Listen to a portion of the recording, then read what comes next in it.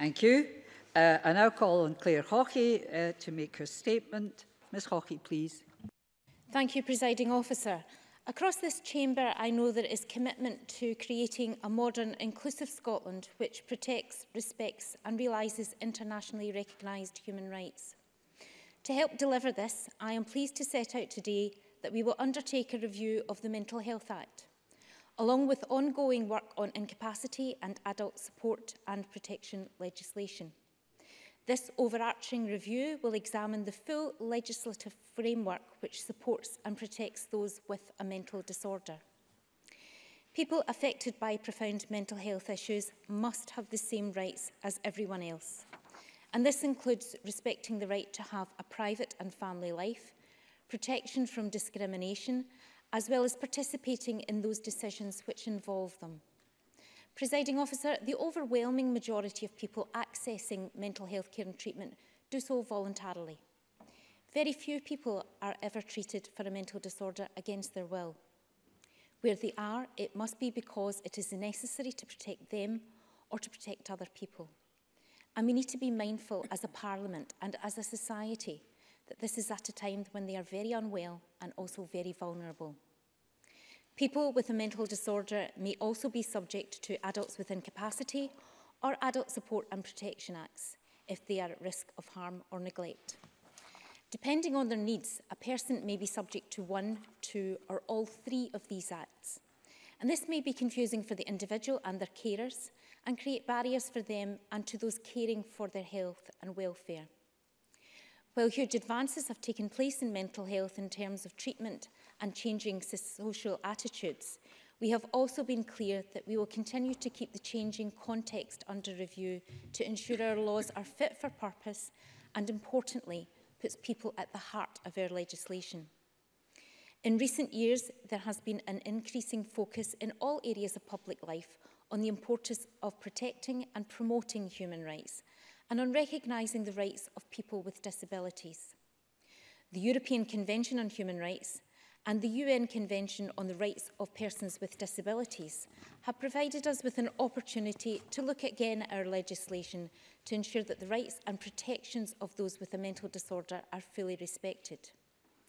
Our legislation is already firmly based on rights and contains principles which reflect that ethos.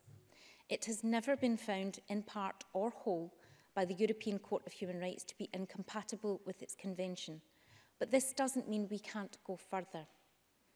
At the time of its introduction, the Mental Health Scotland Act 2005 was a groundbreaking piece of legislation. It provided safeguards for those who became unwell and required compulsory care and treatment for a mental disorder. It also addressed wider issues such as the rights of service users and carers, as well as protection from abuse and ill treatment. The 2005 Act also focuses on what is most important and least restrict, most appropriate rather, and least restrictive for the individual patient, enabling them in some cases to be cared for and treated in the community rather than being admitted to hospital. It contains significant safeguards which, uh, such as the right to independent advocacy and an efficient and independent mental health tribunal which grants and reviews orders for compul compulsory treatment. Also an independent body, the Mental Welfare Commission, which monitors the use of the Scottish mental health law, including compulsory treatment, and has the power to intervene if there is evidence of improper care, treatment or practices. 14 years on, I believe the time is now right to look again at these laws to ensure that it reflects fully our ambitions and the needs of those whom it is intended to support when they most need it. The principal aim of the review of the Mental Health Act is to improve the rights and protections of persons with a mental disorder and remove barriers to those caring for their health and welfare. It will do this by reviewing the developments in mental health law and practice on compulsory detention and care and care and treatment since the Mental Health Act 2003 came into force. Making recommendations that give effect to the rights, will and preferences of the individual by ensuring that mental health incapacity and adult support and protection legislation reflects people's social, economic and cultural rights, including UNCRPD and ECHR requirements, and considering the need for the convergence of incapacity, mental health and adult support and protection legislation. But we're not starting this work from scratch. We have already started to take action. Work has already started on a review of incapacity law and practice, as well as a review of learning disability and autism under the Mental Health Act. We will also shortly be undertaking work on the Adult Support and Protection Act, which provides a framework for decision making that involves balancing human rights and risk.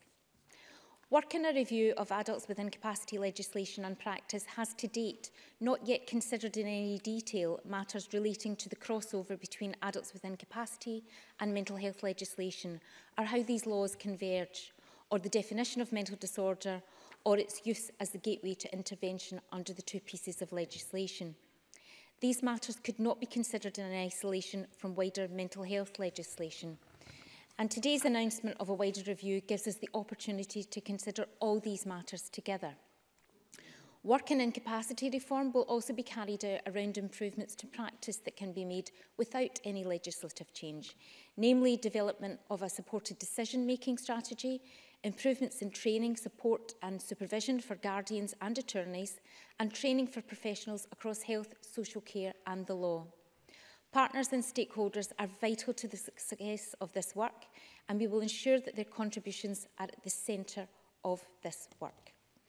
On mental health law, we are already taking forward an independent review of learning disability and autism in the Mental Health Act, which started last year, and is considering the wider issue of whether the current legislation needs to change for people with learning disability and autism. This independent review is not looking at individual cases, but reviewing the law and will be developing ideas on how to improve legislation if needed so that it can, be, it can better support people's human rights. And it will report to me by the end of this year. This ongoing work then, taken together with the broader review of the Mental Health Act announced today, will mean that we now have a comprehensive programme of activity amounting to an overarching review of the legislative framework affecting people with mental disorder and those who care for them. Presiding officer, I want to be clear that this work will be stakeholder driven and evidence led. We want to gather views from as wide a range of people as possible. Throughout the process, I am determined to ensure that the views of patients and those with lived experience and those that care for them are front and centre of this work to be taken forward so that they can help shape the future direction of our legislation. We need to work together in partnership to address issues that are affecting the lives of those with incapacity and mental disorder. The third sector in particular will be key to making this happen. They have a wealth of knowledge and understanding concerning the impact our legislation has on people's lives. We must all recognise the role we have to play and the importance of getting this right together.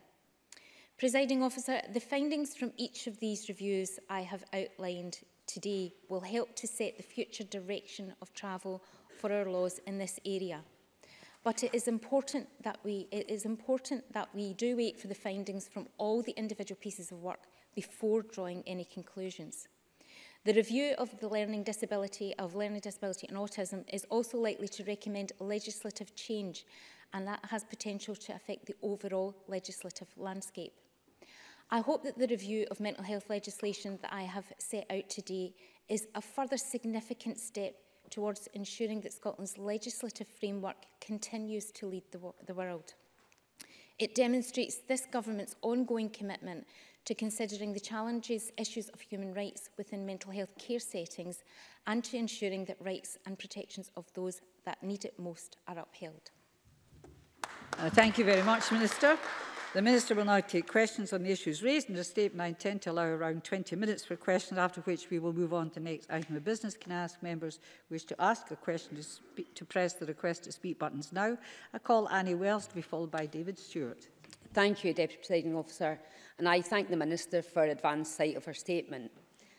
And I also welcome the Minister's announcement of an overarching review of the mental health and incapacity legislation. It is imperative that individuals are not disempowered when it comes to their treatment. As far as possible, patients should be able to make decisions about their own lives. Last year, someone came to me to discuss their experiences of compulsory detention and treatment many, many years ago. What was clear was the lasting impact this had had on their life and it is still causing considerable distress. So therefore, can I ask the Minister what consideration the review will give to a patient's aftercare should compulsory detention and treatment take place? Can I ask the Minister what consideration will be given to guidance around guardianship, which as we know figures are on the increase? And can I ask the Minister when will we hear the conclusion of this review as well as a timetable for taking forward recommendations thereafter. Minister. Uh, thank you very much and I'm really pleased to hear that uh, Annie Wells um, is uh, welcoming of, of this uh, review of legislation, which I think is really important. As I said at the start of um, my statement, um, I think this is something that unites the Chamber and I think it's something that we should all be working together on. Um, if I could, she's asked me several questions there, so please forgive me if I miss any. Um, in terms of a uh, conclusion, if I try to take the questions um, from the, the last one first, uh, we anticipate the review will take around a year. Um, I, however, it would be naive of me to be putting timescales on a review um, at, at the outset, but we're, we're anticipating that, that that would be the length of time. I think she makes some very important points there in terms of aftercare. I think it's we, um, it's important to remember that the vast majority of people who access mental health care do so on a voluntary basis, um, and, but we do need to um, ensure that uh, the, the rights of all people who access mental health care are respected um, and uh, that will be certainly something that runs through the theme of, of our mental health legislation currently and I would anticipate would, would continue to do so.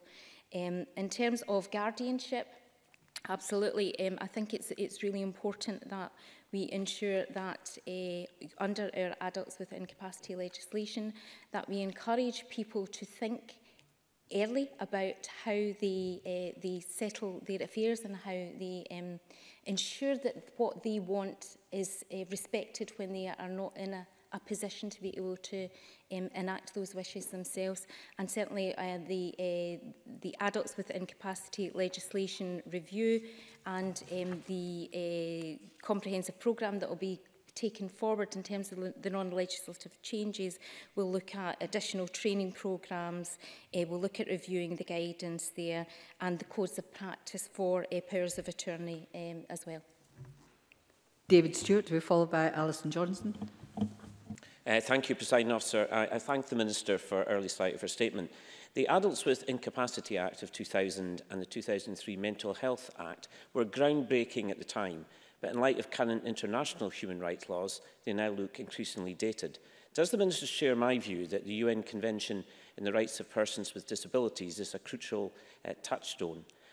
Does the Minister share my view that the key question we need to ask about future policy and legislation is, Are we doing more to support people to take decisions for themselves, even if they have a mental illness, dementia or intellectual disability, and to give effect to these decisions? And the Minister under statement outlined improvements in practice to incapacity without the need for legislative change. Could the Minister provide the Chamber with more detail about the strategy, for example, in improvements in the training and support of guardians? Minister. Uh, yes, I, I, can, I can give... Uh, again, Mr Stewart has asked me several questions in that question, so again, forgive me if I don't answer them all, and I would be happy to come back to him if, if I miss anything out that he has asked. Uh, Um, yeah, a significant piece, uh, eh, feature of the work around the adult with incapacity uh, eh, practice is the development of the supported decision-making strategy, and, and that aims to provide more support for people to make their own decisions about their life and care, in keeping with the, the UNCRPD, as he mentioned. And the findings of that review will enhance the work that we have going forward. Eh, eh, in addition, as I, as I mentioned to Annie Wells, our, our first priority will be the revision to the codes of practice of power of attorney, and that work it eh, will highlight the, the need for every adult in Scotland to consider appointing an attorney whilst they have the capacity to do so. Um, and it will provide information on the rights and responsibilities of attorneys and safeguards that are in place to protect individuals and the sanctions that can be imposed for the misuse of power of attorney. Um, and we believe that these changes uh, should make a substantive improvement to the delivery of services and the well-being of, of persons impacted by the AWI uh, legislation. Um, in terms of uh, his uh, reference to the NCRPD, yes, absolutely. Uh, I, I agree with him. It should be the touchstone for, for all that we do um, in terms of legislation. And uh, my apologies, I've I think I've missed out one of his questions, but I will check back the official record and I will write to Mr Stewart on that point. You could ask your supplementary, you could mention the one that you missed. What was the one you missed? Do you not know? Thank you. you don't yes, know, yeah, don't bother. Yes, I do, President Officer. I'm I'll very happy, you. as always, to have two bites at one cherry. Um, the final question I raised was that the Minister made it clear in her statement that uh, we don't need legislation we can look at changes. So, for ah. example... No, uh, that's fine. We now know. Thank you. Presiding officer, yes, that was in terms of the adults with incapacity legislation that we believe that there are improvements that we can do without uh, enacting legislation and those are improvements that we can progress uh, uh, from now on. Flexibility. I, uh, I call Alison Johnson, followed by Alec Cole-Hamilton, please. Thank you. Um, the Minister is right to state that people affected by profound mental health issues have the right to, par to participate in decisions that affect them. And I welcome the Minister's commitment to ensuring that partners and stakeholders are at the centre of the review. Can the Minister outline how she will engage with those who will be most directly affected by any change in legislation, such as people class classed as adults with incapacity? Minister. Um, again, I uh, welcome Alison Johnson's uh, uh, support in the review of this legislation. Um, I actually feel that uh, or, or believe that we actually have to have that lived experience voice right at the very heart of this review. Um, we do need partners, we do need stakeholders, but actually we need to hear the voices of those who have uh, been through uh, mental health uh, difficulties and, and access mental health services and their carers as, as well as partners and stakeholders. Um, we, as a, uh, we will be um, appointing a chair for the review very shortly. And uh, while I wouldn't want to be um, preempting how they carry out that review within the parameters of, of what I've already set out today, um, it is key that stakeholders are sat round that table and that we tap into the, the knowledge, the wealth of knowledge that they have third sector organisations and healthcare professionals and, uh, and uh, various other organisations uh, which support people with mental health difficulties um, and ensure that their voices are there. Alex Cole-Hamilton followed by James Dornan. Thank you very much, Deputy Presiding Officer. Grateful for early sight of the statement. Also very grateful to see the moves to improve supported decision-making, but that won't necessarily improve the, the ability with which we have to hear the voices of people affected by this legislation in the process. The United Nations Committee on the Rights of People with Disabilities has raised several concerns about the overuse of curators in mental health tribunals. Can the uh, Minister confirm that she'll ask that this review look at this area area so that we improve the ability of people who come before these tribunals yeah, I'm going to, to have to yeah, in their own words. Questions been asked and, and I do want to get everybody in so we'll need to have shorter questions and if possible shorter answers please. Minister, thank you. Uh, thank you, President Officer. Um, I think it's, it is important to, to say at the outset that there are already a number of safeguards under mental health legislation currently. The right to appeal, uh, detention, independent advocacy, and of course um, compulsory treatment uh, on, uh, under the Mental Health Review Tribunal or is reviewed by the Mental Health Review Tribunal. And there's also the Mental Welfare Commission, um, which also safeguards rights. Um, but I, I, I don't um, disagree with uh, Mr Cole Hamilton that this is an area that should be looked at through. We're looking at mental health legislation right across the piece, for, not just for, uh, for those who access services informally, but also for those subject to detention. Um, and so I would expect that that would be an area that would be looked at under, um, under the review. James Dornan, followed by Miles Briggs. Thank you, President Officer. Uh, as someone who's seen firsthand just how people used to be treated when they were involuntarily treated, I'm delighted to see so much has changed for the better and also delighted that the Scottish Government are holding this review. Clearly, there's still much more to be needed, is needed to be done to protect those vulnerable individuals. So therefore, I'd like to ask the Minister if this review is going to consider the use of seclusion and restraint. Minister. Uh, thank you, Mr Dornan, uh, for that question. Part of the terms of reference for this review will consider the role of physical restraint, isolation and segregation. We are absolutely clear that everyone should be able to feel safe while receiving treatment or working in our mental health services and the use of physical restraint should only ever be a last resort. As we work to further improve our mental health services, the experiences of patients and their families and staff are key to shaping uh, treatment and support.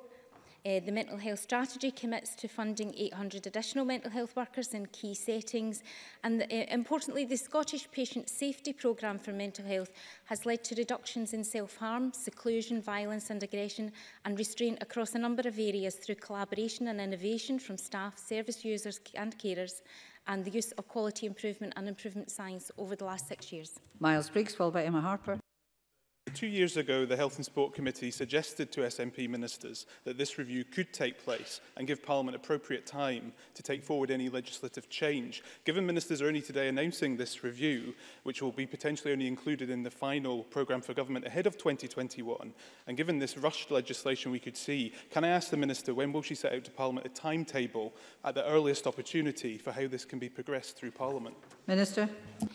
I, I thank you, Mr Briggs, for that question. I, you know, the, um, when the Mental Health legislation or the Mental Health Act was introduced in 2005, it increased the rights and protections for people with mental disorders. And since then, there have been huge advances that have taken place in relation to mental health in terms of treatment and the change in social attitudes. As I said in, in, in my statement, I think currently, uh, after 14 years after the introduction of that legislation, now is the time to be reviewing where, where we are at. Um, I answered a question earlier about uh, timescales in terms of when I expect this review to report. Um, I anticipate in 12 months' time, but I don't want to put firm timelines on that. I think it would be very naive of me to do that. It's a very complex piece of, of legislation which is going to encompass possibly several other pieces of legislation. It's important that we do this correctly and rushing something like this does not do this justice. Emma Harper, followed by Mary Fee. Could the Minister confirm how the review will adopt a human rights approach to its engagement? Minister. Uh, when the Mental Health Act was introduced in 2005, it increased the rights and protections for people with mental disorders. Since then, huge advances have taken place in relation to mental health um, and in terms of treatment and changing social attitudes, as well as an increasing focus in all areas of public life on the importance of protecting and promoting human rights. Depending on their needs, a person could be subject to the Mental Health Act the Adults and Capacity Act and the Adult Support and Protection Act. And we've already begun work to reform incapacity law and practice and we'll begin to work on the Adult Support and Protection Act. Um, a human rights-based approach is about empowering people to know and to claim their rights and increasing the ability and accountability of individuals and institutions who are responsible for respecting, protecting and fulfilling rights. In our approach to taking this review forward, we will ensure that service users are involved in ways that make sure that their voices are heard on decisions that impact on them. Mary Fee, followed by Angela Constance. The scale of this review crosses many portfolios and is a massive task given the importance of the legislation already in place. And I welcome the response the Minister gave to Alison Johnson, but I wonder if the Minister could give any further details of what stakeholders and other agencies will be involved in the review process and who will oversee the work they do? Minister. Um, the, uh, the review process will have a chair appointed shortly um, and uh, the, I anticipate that the number of stakeholders involved within this, given the interest in this legislation. And as, as Mary Fee says, the number of portfolios that in this, this Parliament this crosses, there will be a wide range of stakeholders involved in this. anticipate this will be a, a, quite a, a, a large piece of work. Um, and so we, as I said to Miles Briggs, we need to ensure that we get this right. Um, and so I'm, I am unable to put some firm timescales around this because I think that would be uh, that was doing injustice to the work that that review body is going to do. Angela Constance, followed by Brian Whittle. Uh, as a former mental health officer, presiding officer, I uh, declare an interest and I very much welcome the, the overarching review. So given the role of mental health officers in ensuring that people's rights uh, are protected and respected, particularly when compulsory care uh, or treatment is being considered, uh, I wondered if the Minister will take on board that despite uh, an increase in the number of mental health officers, that 22 local authorities uh, still report uh, a shortage of MHOs, and will the Minister commit to uh, some specific engagement uh, with mental health officers as a group of professionals? Minister. Well, as a former mental health nurse, uh, I uh, can uh, concur with uh, Angela Constance's uh, view of how invaluable mental health officers are in terms of uh, helping uh, the health NHS to provide the care and treatment that people with uh, mental distress and mental illness have. Uh, local authorities are responsible for ensuring there are sufficient mental health officers to deliver their statutory responsibilities and for planning their mental health workforce. Um, Scottish Government has engaged with key stakeholders to consider possible approaches uh, to um, increasing MHO training and capacity linked to Action 35 of the Mental Health Strategy and work is being taken forward uh, under the uh, National Health and Social Care Workforce Plan. Thank you. Brian Whittle, followed by Fulton McGregor. Uh, thank you, Deputy Presiding Officer. Actually, following on from Angela Constance uh, there, I think it's important that there is a capacity to implement any of the review findings in subsequent legislation. And, and with that in mind, uh, uh, will this review uh, look at the considerable time pressures that our GPs and other HA, uh, healthcare professionals are under in their patient consultation that perhaps prohibit them from exploring uh, all potential treatment options and pot potentially the implementation of any review findings? Minister. Um, I'm, I'm not quite sure where Mr Whittle was going with his question there. I'm not sure if he was inferring that uh, people are detained under the Mental Health Act because of lack of other treatment options. I'm, I'm unclear about what he was asking there. Certainly this government has uh, shown that mental health is a priority. This Cabinet Secretary for Health and Sport has assured this chamber that mental health is a priority. We've invested heavily in the workforce and we've invested in growing that workforce right across uh, all of the different uh, professions within mental health. Um, we've also uh, put substantial investment into primary care services and expanding the primary care team. Um, and I would expect that this review will take account of the changing landscape of staffing right across the health service and social care uh, when it comes back to us with its findings. Fulton McGregor, followed by Daniel Johnson. Uh, thank you, President Officer. Can the Minister outline what will happen to the adults with incapacity reform work, which has currently been taken forward. Minister. Uh, we are proceeding with a comprehensive programme of non-legislative changes to practice and guidance. We're developing a strategy for supported decision making to enable people with impaired capacity to have the support they need to make their own decisions about their life and care. We will provide a comprehensive training programme for professionals across health, social care and the law. And we are improving the provision of support for guardians and attorneys and we are revising the current codes of practice and guidance to provide clarity on the law as it stands. Um, as I said previously, our first priority will be the revision to the codes of practice on powers of attorney and this work will highlight the need for every adult in Scotland to consider appointing an attorney while they have the capacity to do so. It will provide information on the rights and responsibilities of attorneys and the safeguards that are in place to protect individuals and the sanctions that can be imposed for the misuse of power of attorney. And could I take this opportunity, presiding officer, to encourage all MSPs in this chamber to uh, give consideration to appointing uh, a power of attorney while, while they have capacity to do so. I don't know if you're looking at me at the time, but certainly I hope not. I have no intention of doing it at the moment. Uh, if that was the inquiry, I called Daniel Johnson to be followed by Rona Mackay. Thank you, Deputy Presiding Officer. And can I remind the Chamber that I am currently a patient with Adult Mental Health Services, an outpatient, and have a diagnosed neurodevelopmental disorder. Um, there may be some concern from the autistic community today, given that the, the review work into autism is being linked with incapacity, especially when many within that community are seeking a move away from the deficit model. So could the Minister explain how the scope will be managed between acute and chronic conditions? And importantly, on the point around stakeholder-led uh, uh, nature of the review, confirm whether the review group into the review into learning disability and autism will include people with autism. Minister. Um, can I assure uh, Daniel Johnson that I, I want to make sure that the voice of people with lived experience is at the heart of this review.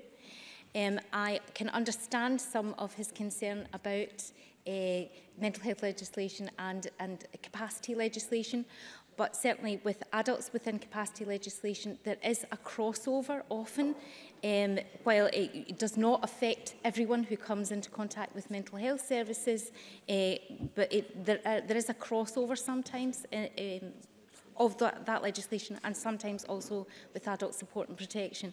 And so we're trying to ensure that the system is, will be easier to navigate both for uh, people who are subject to some of the um, uh, some some of that uh, of that law, but also for the the people who are looking after them, for the healthcare and social care professionals there. But I, I take on board what what Mr Johnson says, and I hope he take my reassurance that I want to make sure that the voice of lived experience is at the heart of this review. Last question, Rona Mackay. Thank you, Presiding Officer. Does the Minister agree with me that this overarching review will give both patients and families more support and protect, protection with regard to their human rights? Minister. Uh, this will be stakeholder driven and evidence led. Therefore, it's crucial that people have an opportunity to make their views known and there will be a full public consultation. Each stage of the process will have to create an engagement strategy which is not only transparent but also affords the opportunity to gather as wide-ranging views as possible. The aim will be to engage people with real experiences, service users, carers and professionals, as well as those with a more academic interest. The third sector in particular will be key to making this happen. They have a wealth of knowledge and understanding concerning the impact of our legislation on people's lives. Thank you. That concludes uh, questions on the statement. of a short suspension to allow the front bench to change places to the next item of business.